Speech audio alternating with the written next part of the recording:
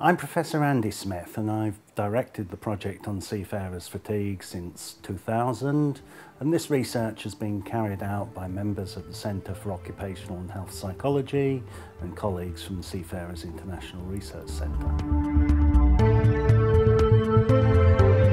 Fatigue has to be studied using many different techniques one extreme, um, one uses questionnaires to get uh, subjective responses about uh, fatigue.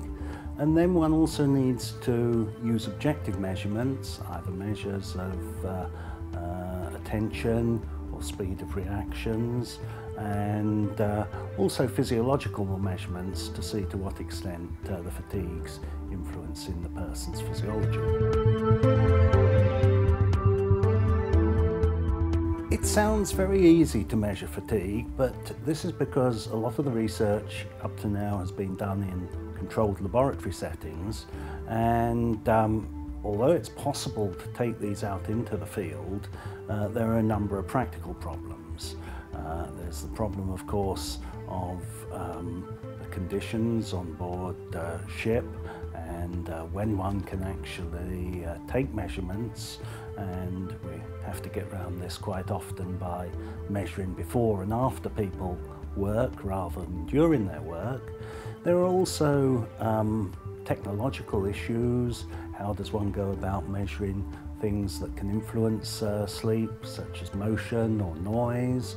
And um, also then the measurement of physiology has uh, methodological issues, uh, we use cortisol measures from saliva, and these can be influenced by many things as well as fatigue.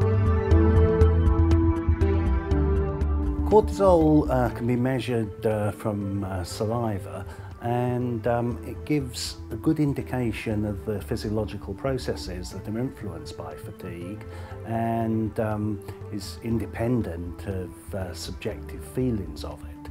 So here we have a technique that's relatively easy to use, just requires um, the uh, volunteers providing a saliva sample, usually uh, early in the morning and then later in the day because cortisol changes as a function of time of day and then we can compare this in fatigued and non-fatigued individuals to see to what extent uh, the cortisol changes.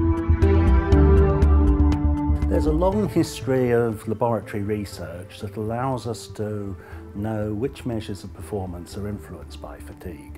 So for example, in the laboratory, volunteers have been sleep deprived and then uh, their performance examined. The two major ones are, first of all, lapses of attention. So when people are fatigued, most of the time, pretty good at performing, but occasionally they have lapses in their performance, very long uh, occasional reaction times, which um, may be related to errors in real life performance. The second most common type of performance is just their basic reaction time, uh, how quickly they can uh, respond to uh, stimuli where they don't know exactly when they're going to occur. And again, it's been shown that these are slower in individuals who are fatigued. This can either be measured subjectively using uh, standard uh, questionnaires, or it can even be measured objectively using what are called ActiWatches. These watches measure the amount of movement um, when people are sleeping. So if someone's having a bad night's sleep, they'll move about a great deal, which will suggest that they're awake for quite a large part of their sleep time, and uh, therefore we can get a good indication of uh, both uh, quality and duration of sleep using these instruments. There are several environmental factors which can influence fatigue. Uh, probably the two most important are noise levels, um, which can make a person fatigued uh, if they occur while they're working and also can interfere with their sleep. And we examine this using what are called dosimeters, which give a good indication of the noise level people are exposed to. Second big influence on fatigue is motion, and uh, we were able to use a motion recorder to look at uh, the amount of motion that occurred during the voyages and again this is shown to be an important factor with regards to fatigue.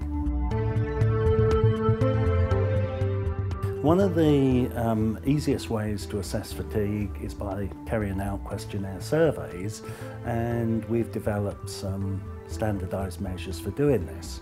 In addition, these questionnaires can now be uh, based on the web and so this makes the whole process uh, a lot easier and a lot more rapid.